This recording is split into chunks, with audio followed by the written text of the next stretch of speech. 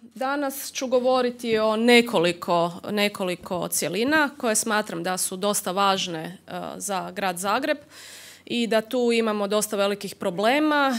Po mojem mišljenju ključni gradski izazovi su u području prostornog planiranja, zatim u smislu neadekvatnog sustava ja neću reći gospodarenja otpadnog s obzirom na činjenicu da mi nemamo gospodarenje otpada nego zbrinjavanja otpada Onda imamo velike poteškoće u prometu, u postupanju i gospodarenju vodama i otpadnim vodama.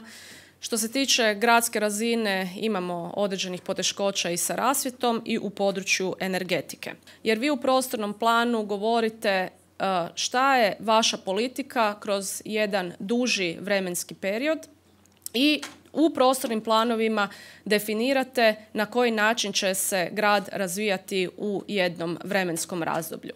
Smatram da prostorno planiranje treba održavati konsenzus javnosti građanstva, urbanističke struke, politike i ekonomskih razvojnih ambicija i da bi prostorni planovi trebali biti okvir u kojem se pronalaze različiti poduzetnički projekti, a ne da se prostorni planovi, kao što je nažalost slučaj ne samo u Zagrebu, nego i u očini jedinica lokalne samouprave i regionalne samouprave u Hrvatskoj, da se dakle prostorni planovi e, prilagođavaju potrebama i interesima različitih investitora.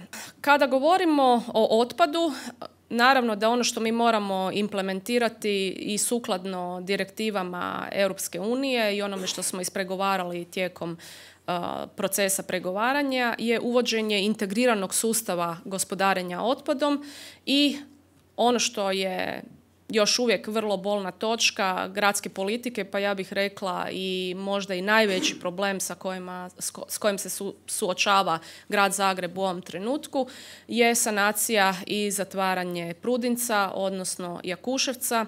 Kada govorimo o otpadnim e, vodama i općenito, općenito sa vodama, Zagreb, poput mnogih drugih e, gradova u Hrvatskoj, ima jako velike gubitke u vodovodnoj mreži preko 40%.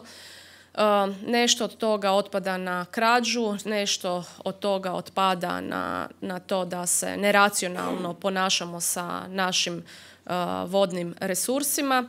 Uh, veći dio Zagreba se nalazi u vodozaštitnom području i nije jednostavno u stvari niti planirati niti realizirati mnoge projekte s obzirom na tu činjenicu. U prometu Dakle, nužno je podići kvalitetu javnog prijevoza i to kroz korištenje ekološki prihvatljivih prometala.